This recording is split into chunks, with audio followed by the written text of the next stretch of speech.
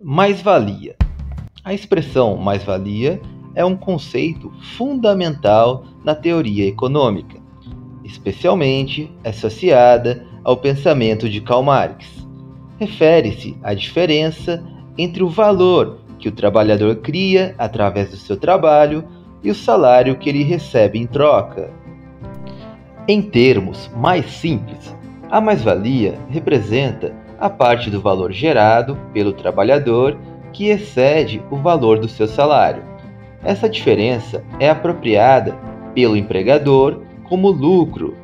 Marx argumentava que a mais-valia é a base da exploração capitalista, onde os trabalhadores produzem mais valor do que recebem em salários, enquanto os proprietários dos meios de produção lucram com essa discrepância.